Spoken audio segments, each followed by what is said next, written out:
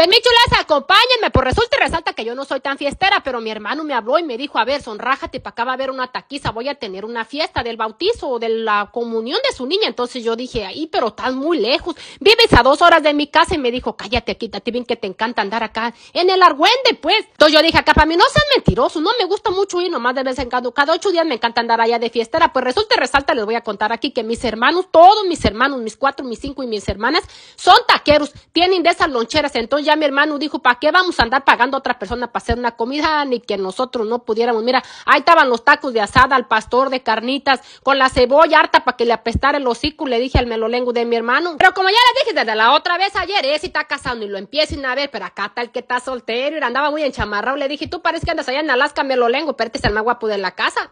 Andando ahí entre la ajetreo, ¿qué creen? Aquí en la casa de mi hermano hay nopalera. Yo dije, china, esos pues son los que se me ven en la frente, pero miren, la mera verdad los fui a agarrar porque hacía muchos años que no veía los nopales así. Desde que estaba allá en mi rancho, ay, me ajuaté los dedos por andar ahí de melolenga. Pregunté a la suegra de mi hermano, le dije, ¿a poco estos los nopalitos los hacen así ustedes ahorita aquí? Dijo, sí, de esos son los que te vas a tragar aquí en la fiesta. Y me lo arrimó mi hermana. Le dije, ay, échame ese platote con cuatro tacos y un sevena, porque ya saben que yo no tomo pues de ese telebrejero. Mira, ahí estaban, ahí estaban. No es por nada, pero mis hermanos hacen muy buenos los tacos, tienen un récord muy bueno de las loncheras. Miren, ahí estaban, mira, darle una mordidota melolenga, hasta se les hace agua la saliva melolenga y con cebolla. Le dije, hartan que me peste el hocico de lejos. No le hace, llego a la casa y me lo lavo el hocico. ¿Para qué pasando uno con tantas delicadezas? Y como les había comentado, miren, es el super taco, esa era mi lonchera, pero la perdí porque, miren, no pude con ella. ¿Por qué? Porque tenía mis melolenguitos chiquitos y los otros a la escuela y se me hacía muy, muy difícil andar en la lonchera, andar en otros lugares. Y dije, no, pues no, aunque por más que yo quiera tener, ese es mi otro hermano, ese es mi otro hermano. Y acá esta que viene acá, esta melolenga, eso es su novia o su esposa, yo ni sé, pero ahí andan ellos, sabrá Dios qué serán. Entonces les digo de la loncherita, pues la perdí, dije, no,